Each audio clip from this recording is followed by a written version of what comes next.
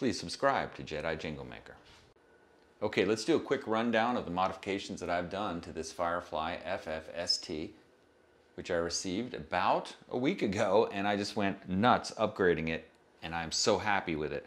Okay, in the bridge, I upgraded to these roller saddles that I got for about $15 on Amazon. I'll leave a link in the description. I also upgraded the bridge humbucker to a Seymour Duncan Mark Holcomb Omega, which sounds incredible in combination with this Ashwood. I put on these Gibson style tuning knobs. The electronics in here were fantastic, so nothing needs to be changed there.